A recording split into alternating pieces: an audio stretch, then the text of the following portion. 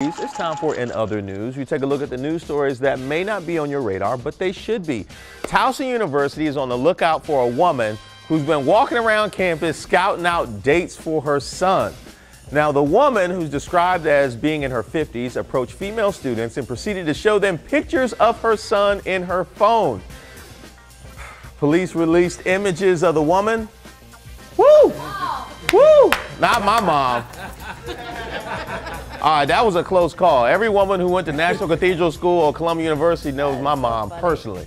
Now, I wish we knew the son's name, but I, to you, I want to say, I'm sorry, dog. I've been there. now, this next story doesn't get any better for you either. Users from the dating app Coffee Meets Bagel found out on Valentine's Day that there had been a data breach.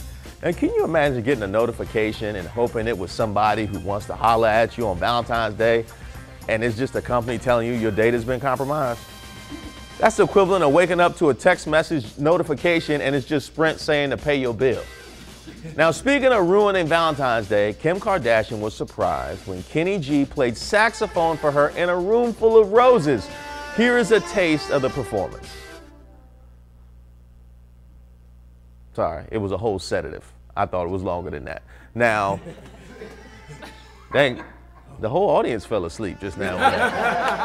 now, was your Valentine's gift as good as Kenny G and Roses? Let us know what you got with the hashtag GetUpDC. I know it was a lot of guys in trouble for their Valentine's Day gift, but after seeing this, they out the doghouse.